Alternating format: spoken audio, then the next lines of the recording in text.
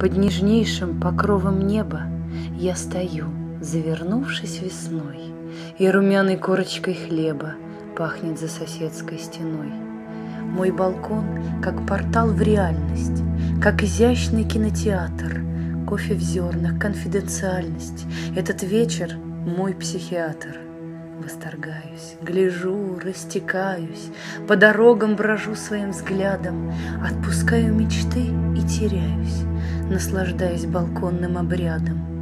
Я и зритель сейчас, и актриса, Лишь ступнями по голой сцене, Без речей и смелого смысла, Ведь без ценности миг.